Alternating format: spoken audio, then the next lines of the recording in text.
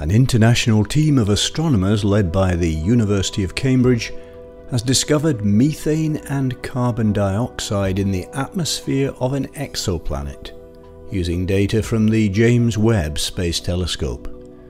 The planet in question is K2-18b, a super-Earth 8.6 times as massive as Earth, which orbits the red dwarf star K2-18 110 light-years from the Sun in the constellation Leo.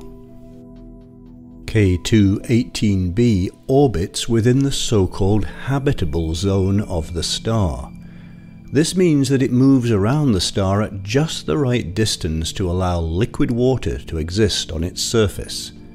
It's the first time that carbon-based molecules have been discovered in the atmosphere of an exoplanet in the habitable zone. Earlier measurements of the atmosphere of K2-18b had been made in 2020 and 2021 by the same team of scientists using the Hubble Space Telescope. These measurements suggested that K2-18b belonged to a new class of exoplanets known as Hycean worlds, having ocean-covered surfaces beneath atmospheres rich in hydrogen. Such worlds, it was theorized, would be prime candidates in the search for extraterrestrial life. The results of the Hubble observations put this potential Hycean world high on the list for a follow-up study using the more powerful Webb telescope. Webb's higher resolution instruments have definitively identified methane and carbon dioxide in the hydrogen-rich atmosphere of K2-18b.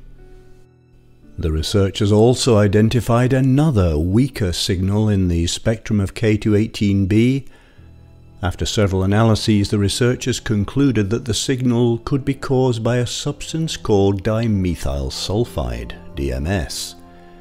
On Earth, DMS is produced naturally in only one way, by living things, mainly microbial life such as marine phytoplankton. The identification of DMS in the atmosphere of K2-18b is tentative. If more detailed observations confirm it, then we can begin to ask, does it point to biological activity on the exoplanet? One thing seems certain, we're learning more about a truly alien planet, a Hycean world unlike anything in the solar system.